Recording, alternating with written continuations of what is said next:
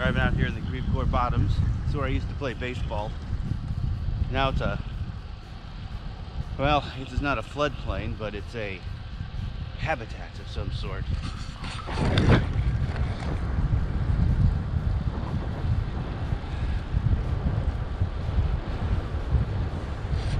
can see it's all kind of flooded. These used to be fields.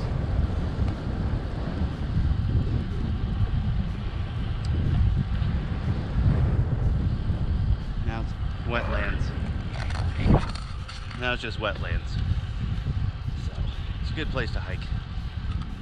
It's hard to see, but this used to be an airport. Now the flooding out here has just really kind of creamed this whole area. So now it's just farmland. That said, you still have organizations that want to you still have organizations that want to turn this into a subdivision.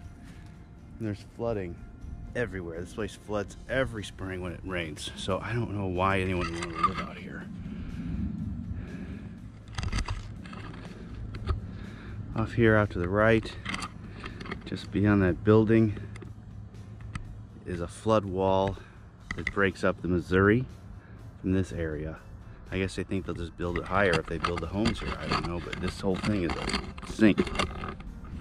Coming up on the Missouri River, the big overpass. You can see it from here.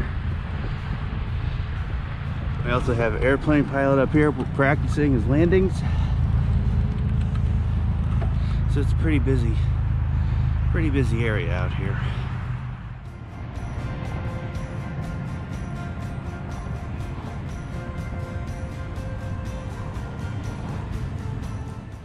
Made it to the other side. Kind of the distances we're looking at to other places. And, uh, here's the bridge from the other side of the highway.